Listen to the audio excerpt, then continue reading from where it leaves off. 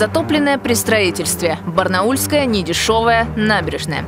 Ее проект вызывал вопросы у известного архитектора Александра Деринга. В Сибирской ассоциации архитекторов и дизайнеров вообще раскритиковали практически все, что есть на набережной.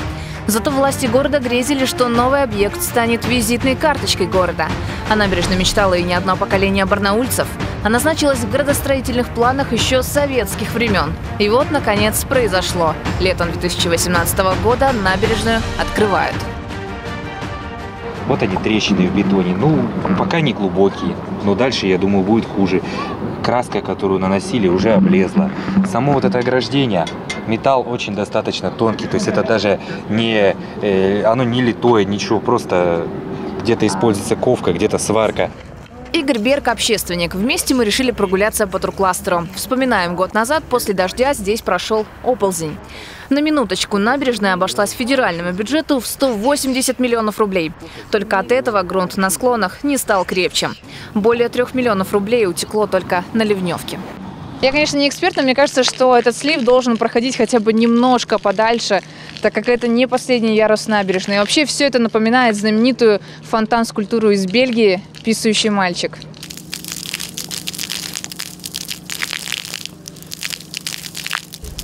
Просевшая плитка, огромные лужи. Почему же набережная боится дождя? Благоустройством набережной занимался проектный институт «Алтай граждан проект». На все работы есть гарантия – 5 лет. Но прошел всего один год. Продолжаем мочить ноги. Не, не симпатично. Или уровень не, не сделали. Уровень. Уровень должен быть скат в какую-то сторону, где есть сток воды допустим, туда сделали легкий бы скат, а вода бы туда ушла бы, и там бы она бы пошла бы дальше. Не продумали наши архитекторы или кто там, инженеры строительные. Набережная находится на балансе Комитета по дорожному хозяйству, благоустройству, транспортной связи.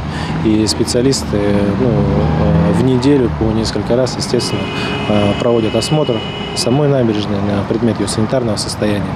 Поэтому э, вопросы находятся на самом деле на контроле. Если верить проекту, на набережной может одновременно находиться полторы тысячи человек. Только есть один щекотливый момент. Давайте представим. Поздний вечер. Куда пойдут эти полторы тысячи человек, если захотят справить нужду? На карте видно, вдоль набережной три кабинки. Еще один туалет в Нагорном парке. Разбираемся. Здесь они платные, по 20 рублей. Работают обычно до 10 часов вечера. Еще нету 9 часов, а этот туалет уже, например, закрыт. И, к счастью, телевидение пока еще не научилось передавать запахи миазмов. Состояние платных туалетов вызывает вопросы. Например, зачем здесь раковина, если нет воды? И это не самое страшное. Не выкачивают. Редко выкачивают. Уже его туалет. Ну, соответственно, и запах. Да. Жару вообще сильный запах. Туалет в Нагорном парке, на удивление, оказался бесплатным. Уборная живет на пожертвование прихожан храма. График работы до 8 часов. И теперь главный вопрос. Где же почувствовать облегчение после 10 вечера? Ведь в это время на выходных здесь еще много людей. Куда-то уходили, наверное, ближе к воде или в кусты, или к камням там как-то, не знаю. Мужчины могут хоть где, женщинам единственный вариант, вон там, в самом речном вокзале, туалет в пивнушке. Куда? Под столб вон куда? Ну или под дерево какое-нибудь. Ну, как вариант, а почему нет? Да?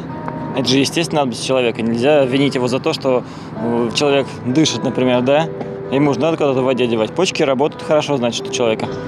Мы вновь обратились в администрацию города. Там нам пояснили, места для кабинок сданы в аренду частному лицу. Возникает вопрос, почему же в туристическом кластере приходится ходить по нужде в кустике? Что касается тех туалетов, которые биотуалеты установлены на набережной, они находятся на сегодняшний день э, в аренде у индивидуального предпринимателя. И график работы, естественно, мы э, стараемся прорабатывать с ним, чтобы он э, сдвигал, да. Но все это, естественно, в окупаемость э, самих э, биотуалетов. Со следующего года вопрос уже проработан, и то есть данная услуга для населения будет оказываться уже нашим муниципальным предприятием, поэтому здесь мы сможем корректировать время работы этих туалетов.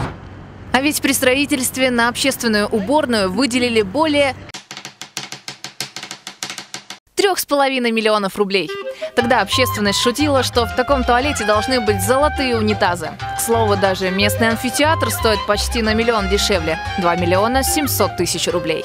Когда я видел проект набережной, он казался намного красивее, и амфитеатр там выглядел больше и интересней. А на самом деле получилось, ну, три убогих лавочки каких-то непонятных. Для проведения мероприятий, я думаю, этого недостаточно. Сколько там сядет? 15-20 человек, ну это ни о чем, это смешно. Изначально было заявлено, что трибуны амфитеатра смогут вместить около 200 человек. Думаем, комментарии дальше не нужны. Вечер, идет концерт, но почему-то желающих почувствовать себя в Барнаульском Колизее немного. Мало э, развитая инфраструктура, то есть нечем заняться, собственно, людям тут, детям. Не организовано, организации никакой.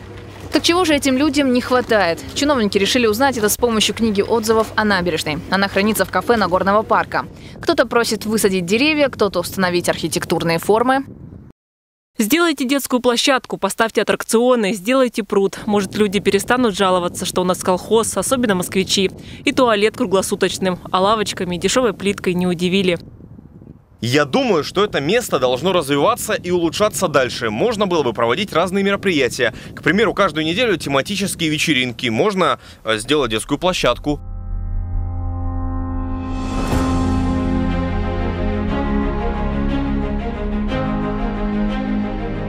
И все же набережную любят. Здесь почти круглосуточно гуляют жители города, выступают музыканты. И, возможно, когда-то набережная изменится в лучшую сторону. Например, с приходом нового мэра. А пока, говорит Игорь, чтобы набережная перестала выглядеть дешево и сердито, ее проще снести и заново построить. Но вместе признаем, прорыв Барнаула уже состоит в том, что у него появилась своя набережная. Спустя три века город все-таки повернулся лицом к Аби. Ирина Корчагина, Андрей Печоркин, Александр Андропов. Специально для телеканала «Толк».